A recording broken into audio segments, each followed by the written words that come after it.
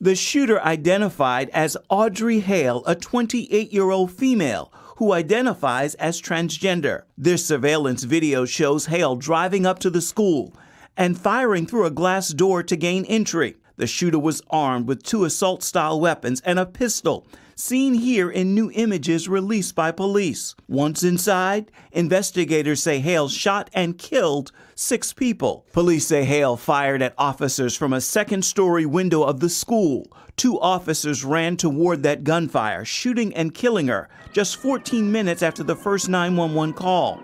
Overnight, investigators found more guns and evidence at Hale's home including detailed maps, surveillance of the school, and a manifesto revealing a planned targeted attack. Still, so far, police have not revealed a motive.